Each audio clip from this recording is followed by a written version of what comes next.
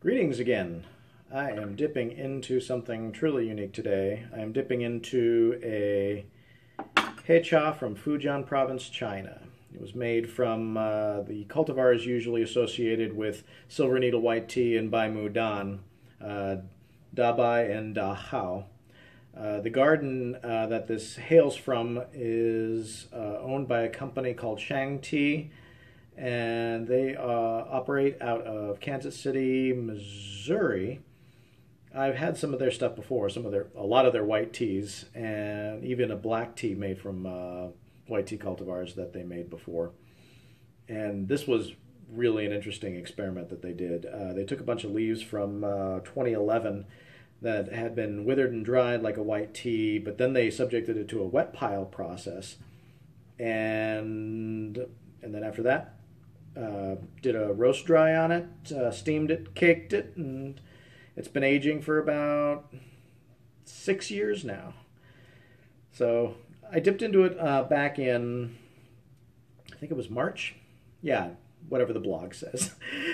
That's when I dipped into it, and I didn't give it a lot of detail, um, or I didn't I didn't do a detailed tasting on it. This time I wanted to be a little bit more precise, and that's what this video is for.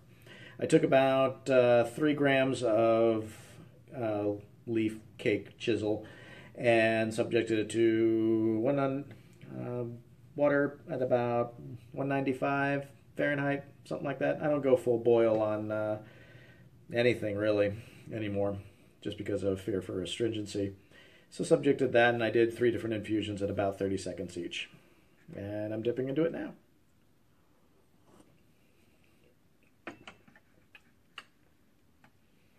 Hmm. That uh, first infusion definitely is the uh, most white tea-ish of all of them. Uh, tastes like uh, a Bai Mu or a Shou Mei, only with uh, a bit of bit of, a bit more body to it. Not as not as light and uh, I wouldn't even say it's medium bodied. I would say it's kind of like uh, silky bodied. yeah, we'll go with that.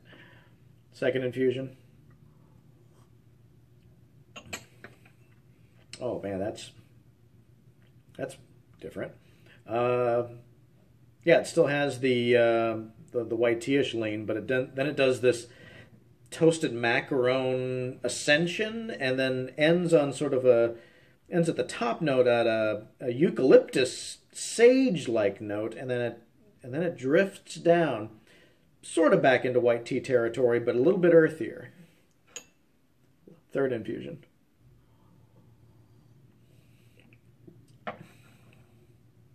okay that is the most heicha of any of the other infusions uh, it kind of reminds me of a pure bud Hunan Heicha made from uh, wild uh, tea trees that I had several years ago. And that had sort of a, a really, really sweet maple bark uh, flavor to it. And this sort of mimics that to, to a tea.